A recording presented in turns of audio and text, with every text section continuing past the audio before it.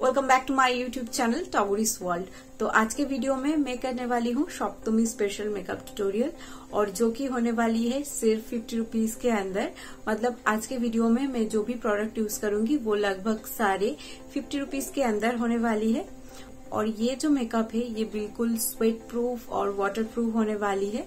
तो आप जितना मर्ज़ी पांडल हॉपिंग करे, आपकी मेकअप बिल्कुल भी मेल्ट नहीं होगा। उसका एक डेमोन्स्ट्रेशन मैं वीडियो के एंड पे दूँगी। तो अगर ये वीडियो आपको थोड़ा सा भी हेल्पफुल लगे तो लाइक शेयर ज़रूर कर देना और मेरे चैनल को सब्सक्राइब कर देना। और मैं अदर सोशल साइट पे भी हूँ लाइक फेसबुक एंड इंस्टाग्राम अगर वहाँ पे आप मुझे फॉलो करना चाहते हो तो उसका लिंक मैं नीचे डिस्क्रिप्शन बॉक्स पे दे दूँगी।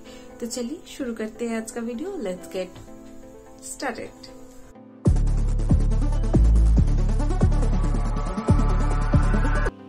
पहले मैं फेस को थोड़ा सा प्राइम कर लूँगी। इसके लिए मैं ये होममेड टोनर अप्लाई कर लूँगी और ये एलोवेरा जेल और रोज वाटर को मिलाकर बना है।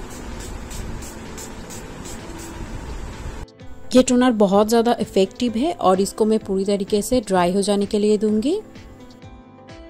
फिर मैं निविया सॉफ्ट को एज अ मॉइस्चराइज़र पूरे फेस पे अप्लाई कर लूँगी। अब सब जानते हो कि ये बहुत ज़्यादा एक लाइट वेट मॉइस्चराइज़र है। मॉइस्चराइज़र थोड़ा सा फेस पे सेटल डाउन हो जाए, फिर मैं अप्लाई करूँगी। ये Patanjali aloe vera gel as a primer aloe vera gel primer का काम तो करता है साथ साथ ये एक मॉइस्चराइज़र का काम भी करता है और फेस पे एक हाइड्रेशन भी प्रोवाइड करता है। तो पहले मैं आई मेकअप पे चली जाऊँगी। इसके लिए मैंने एडीएस की आईब्रो पेंसिल लिया है और इसकी प्राइस है टेन रुपीज़ इससे जो मेरी आईब्रोज की नेचुरल ग्रोथ है, उसको मैं ध्यान में रख के पहले ड्रॉ कर लूँगी, फिर अंदर में फिल कर लूँगी। मैं इसको कोम कर लूँगी ताकि कोई भी हार्श लाइन ना रहे। फिर मैं एक फाउंडेशन और पाउडर को मिला के एक कंसीलर में तैयार कर लूँगी। क्योंकि फिफ्टी रुपीज़ पे ऐसा कोई भी कंसीलर नहीं है और ये कंसीलर का काम बखूबी करता है। इससे मेरी आईब्रोज की आ, नीचे की तरफ़ और ऊपर की तरफ़ मैं क्लीन कर लूँगी और सेम कंसीलर से आईलिड्स को मैं आई के लिए प्राइम भी कर लूँगी। तो ब्रश की मदद से मैं जो कंसीलर अप्लाई किया है उसको मैं सेट कर लूँगी और आर एल ब्यूटी की आई पैलेट लिया है और ये आपको फिफ्टी रुपीज़ पे किसी भी दुकान पे मिल जाएगी। तो इसमें से मैंने ये ब्राउन शेड लिया है और इसको पहले मैं अप्लाई करूँगी और बाद में राउंड मोशन पे इसको ब्लेंड करती जाऊँगी। फिर मैं ये ब्लैक आई को लूँगी और मेरी इनर कॉर्नर्स पे और आउटर कॉर्नर पे इसको प्लेस करूँगी। फिर एक थिन ब्लेंडिंग ब्रश की मदद से आउटर कॉर्नर और इनर कॉर्नर को स्लोली स्लोली राउंड मोशन पे दोनों कॉर्नर को मैं ज्वाइन कर दूँगी। फिर सेम ब्राउन शेड को लेके दोनों कलर को एक साथ मार्च कर दूँगी ताकि कोई हार्श लाइन ना रहे और आई ब्लेंडिंग बिल्कुल स्मूथ रहे।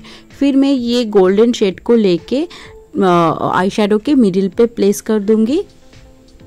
तो मेरी आई मेकअप ऑलमोस्ट कंप्लीट है। अभी मैं फेस की मेकअप की तरफ़ चली जाऊँगी और इसके लिए मैंने blue heaven get bright foundation लिया है। तो फाउंडेशन को मैं अच्छी तरीके से पूरे फेस पे ब्लेंड कर दूँगी। पहले जो कंसीलर मैंने तैयार किया था उसको लेके मेरी जो आ, फेस की यूजुअल पॉइंट्स मेरी जो अंडर आइज़ है ब्रिज ऑफ़ द नोज़ और फोर हेड जहाँ जहाँ मुझे कंसीलर की ज़रूरत है वहाँ पे अप्लाई करके मैं अच्छे से ब्लेंड कर दूँगी।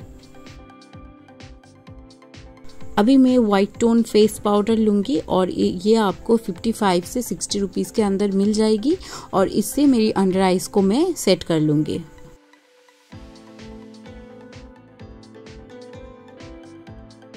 तो मेरी आई शेडो पैलेट पे जो ब्राउन शेड था, उसको लेके मेरी फेस को मैं थोड़ा सा कंट्रोल कर लूँगी और मेरी नोज़ को भी उससे मैं कंट्रोल कर लूँगी। फिर सेम पाउडर से मेरी कंट्रोल को मैं थोड़ा सा इन्हेंस करूँगी और जो एक्सेस पाउडर है, उसको मैं डस्ट ऑफ़ कर दूँगी।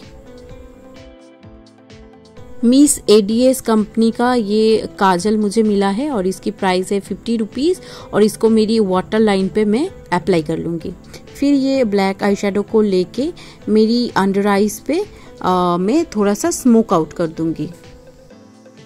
और सेम पैलेट से ये शैम्पेन ग्लिटरी शेड लेके मेरी इनर कॉर्नर और मेरी ब्राउ बोन को मैं इससे हाईलाइट कर लूँगी।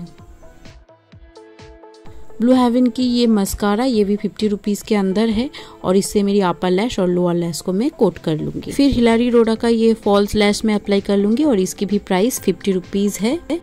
फिर लियोन ब्यूटी की ये लिक्विड लिपस्टिक को एज अ ब्लाश में अप्लाई कर लूँगी। देन ये गोल्डन शेड को एज अ हाइलाइटर मेरी जो यूजुअल पॉइंट्स है लाइक चिक्स क्यूपिड बो मेरी नोज़ पे मैं अप्लाई कर लूँगी। फिर सेम लियोन ब्यूटी की पिंक लिपस्टिक से आज के लुक में कंप्लीट कर लूँगी। And here is the final look guys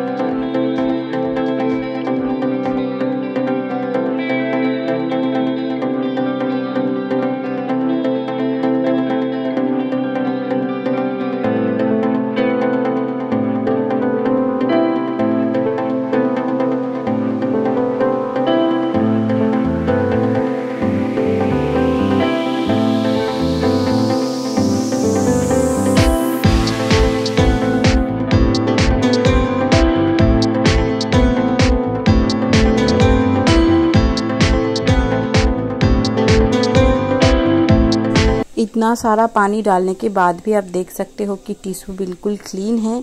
कोई भी मेकअप निकल के टिशू पे नहीं आया है। तो आपको मैं क्लोजअप पे भी दिखा देती हूँ। मेरी फेस आप देख सकते हो कि ऐसा बिल्कुल भी क्रीज नहीं हुआ है। तो ये प्रूव हो गया कि मेरी मेकअप जो है बिल्कुल वाटर प्रूफ है और इसे पहन के आप किसी भी पंडाल पे जा सकते हो। और आपकी मेकअप बिल्कुल भी मेल्ट नहीं होगी। आई होप कि आज का वीडियो आप सबको बहुत ज़्यादा पसंद आया होगा। कैसा लगा do let me know in the comment section और मैं मिलती हूँ मेरे नेक्स्ट वीडियो में। Till then tata